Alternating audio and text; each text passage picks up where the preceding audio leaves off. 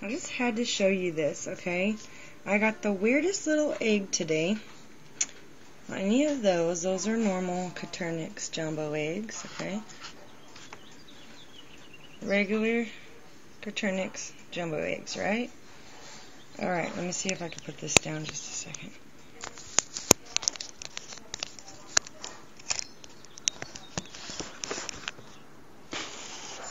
Okay.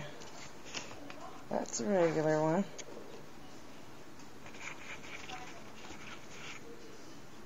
And then I got this, just right now. it looks like a gumball. And it's blue and brown. Whoa. There goes. I was like, what the heck is this blue spot in their cage? And she did that little whistle thing, like she laid an egg.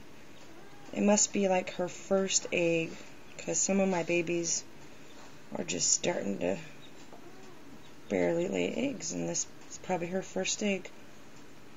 And this is a normal compared to this weird blue and brown egg. Anybody else get any of these that look like a little tiny miniature gumball? So weird. Hmm.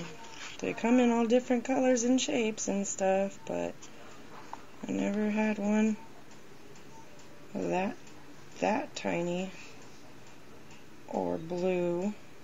I have had them kind of green before, but never. That's weird.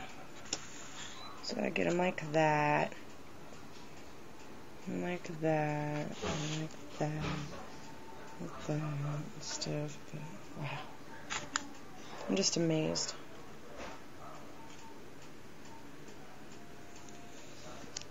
Alright, had to show you that. It's pretty cool.